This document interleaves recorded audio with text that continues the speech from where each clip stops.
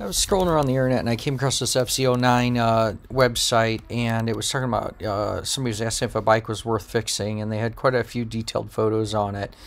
And what got me thinking about this as I've been working on content for this uh, Motosmart laser is this is pretty common. What you see is you'll see, you know, where people are asking, is this worth fixing? And there's actually like 19 comments on here. Some of these comments on here are actually really nice. They're wrote, you know, well enough. But the reality of it is, is no one commenting here can tell you whether a motorcycle like this that's had this kind of impact is worth fixing. I mean, what this ultimately comes down to is what risk are you willing to take? Even a lot of shops are doing, you know, repairs and then finding out that after a whole front end and a wheel and body work and everything something else, that the bike doesn't handle right, or, you know, quote unquote, something else is wrong. And I, I know I told a story in part one how I had bought a bike wrong one time just because there was no crack paint. So I went ahead with it. But I'm going to show you another way. This is, you know, part two of the Motosmart laser where you can see how you can check for twist in the neck. Super, super awesome that you can literally take this measurement whether you're uh, doing it out of your shop or whether you're a professional shop and you want to have more uh, you know, more confirmation to give your customer on whether a bike is worth fixing like they're asking here. So let's jump into it and you can see how this tool will work to check the twist in the neck stock of a uh, motorcycle.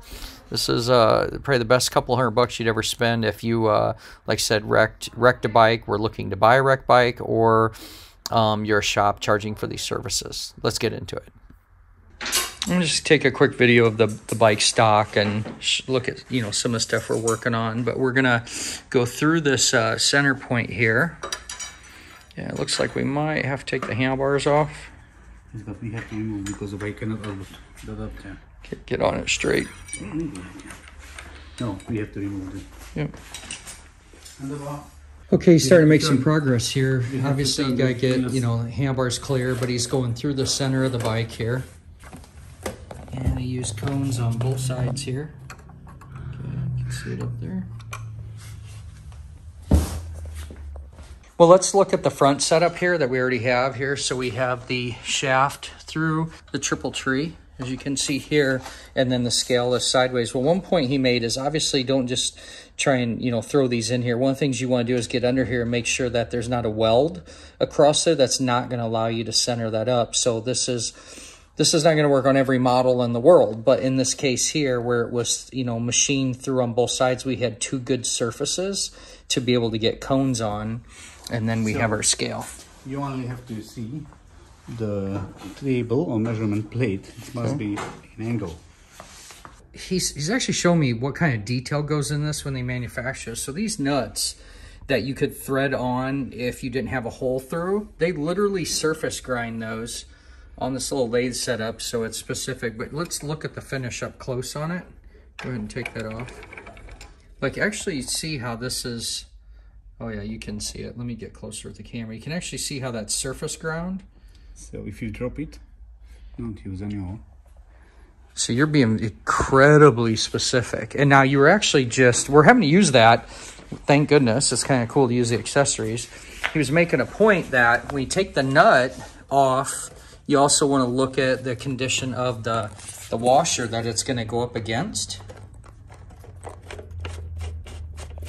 Because if it were scarred from like a lock washer or something as well. Some dust, mud, something like that. Okay, I'm bringing wrenchy. Okay. You tight it with about 50 newton meters or something like that. Not totally, but you have to tie. Okay. Say, say that one more time again, uh, Csaba. I wasn't recording. So what were you saying about the welded frame and the jig? So this uh, frame is welded. So it's means the base points, it's fitting in the welding jig. Then the welding is coming. Mm -hmm. And if you lose the parts from the jig, it's a little bit moving. Right. So for that reason, uh, for the correct measurements, it's you have be tightened about 50 newton meters or something like that. Whatever the torque spec, yeah, really is. Yeah, gotcha.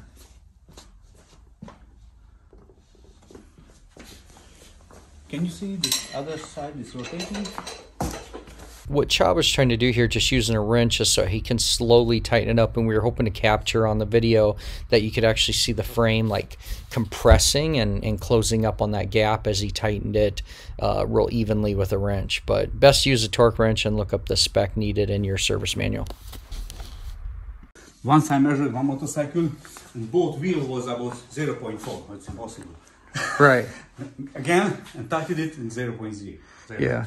So matching that back to, you know, knowing that you have to torque specs uh, makes sense. So what he's talking about basically is the, the frame, you know, as you torque that down, compressing a little bit. There's a couple different reasons they do that. Sometimes it's built in if that tuned suspension, they say, or tuned uh, frame and engine mounts. And then, uh, you know, that little gap too is really nice for installation when you're installing a swing arm and engine. So Also important things, this part is manufactured by tightening the thickness. So you have to a little bit tight the plastic screws to make it this okay, we want that rigid.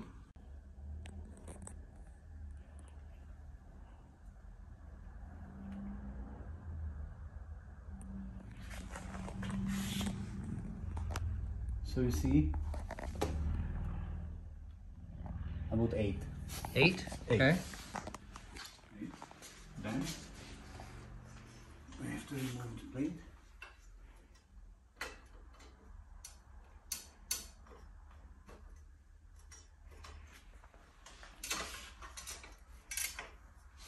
To the top. Well, it's so simple. Dang, that's fast.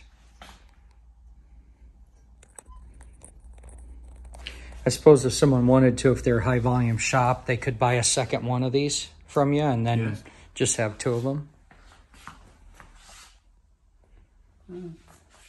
It's about 10 and uh, two divisions which means 0.2 but it is written in the manual so up to 5 it's, it's okay so it is acceptable So up to five, and this one's only at two. Okay. yes Yeah. So that is very simple and very important and useful check so the frame is okay you are able to measurement frame in, in the table so you don't need to have a motorcycle completely so if you are going to buy a fr- a frame itself mm-hmm. you can control it Yeah, that's awesome. So yeah, I never even thought about that. I mean, you literally could check a frame itself, especially then you'd need the bigger cones, right? yes Yeah, you need those accessories like this. Yes, And then, man, I didn't even think of that. You literally could just check the frame. Wow, that's fantastic. That is super cool. Hey, let's hit the brakes here for a second. You know, it's hard in a 10 minute video to make you an expert on every possible scenario or situation uh, that you could come across, you know, when inspecting frames. But one point I want to make is when we just were talking about how you could check a frame up on, uh, you know, on the bench without the motor and without being in uh, a fully assembled motorcycle. One thing I keep in mind is that, just like we said earlier, some of these frames are a stress member. So, you know, if you're buying a frame from a, you know, custom welder and you wanted to check it out or whatnot, uh, or you're running over to eBay and picking something up, um, I'd recommend that you uh, put some spacers and a uh, uh, you know a, a bolt through that you know swing arm mounting point and then torque it to spec so that you could add that stress. Well, the challenge is going to be though is you know how much is the frame supposed to flex and how much should it move. So some of those things are going to be some trial and error, but it's pretty cool that you have some options and a way to uh, take some measurements. Look at this setup one more time. Like I said, get an idea in case you get one of these for yourself. You'll be able to see what all these accessories are. And uh, Csaba, one thing I've noticed about you is like you're always continuously improving. Like you're you're always like, oh, let's tweak this, let's tweak that. You know, because this this laser is different than the one that I originally got and the one that you you know I originally got, you had to supply power and a cord and a USB, and it didn't bother me. But you you made this one where it has its own batteries, and then you don't even need uh, you don't even need to plug it in, which just made it Yes, that it's much quicker. simpler, So yeah. that was the reason. So you know, I'm an engineer, so I always thinking on technical things. Right. But another point you made on this new one, because you know, you know what people do. Like things work really well, and then us humans touch things, and we cause problems, right? and so one of, the, one of the things we we see right here is on this new one, where it uses just a very simple laser. The batteries are able to be changed from the bottom side.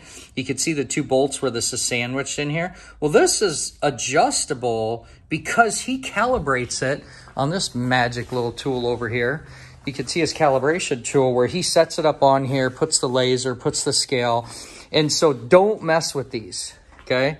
If you did, if you, you know, loosened it or caused a problem, you would need to send it uh, back in for calibration. But this is how you're uh, making it good to go. You can see actually has a, a mirror on here on this side. He's going to go ahead and, uh, you know, just show quickly how, you know, he's, he's making sure that it has the ability. I saw it on there. Okay, so we have to write back to the uh, emitting point. Yep. Awesome. Way cool. Way cool. Hey fans, you've seen it before. One of the reasons to join and subscribe to the How to Wrench channel. PropTech is doing it again. Just like their other uh, tool videos we did on the introduction of this, they're doing a 10% off coupon. You find the discount link below. Hit them up on uh, these uh, links and get one of these tools for yourself.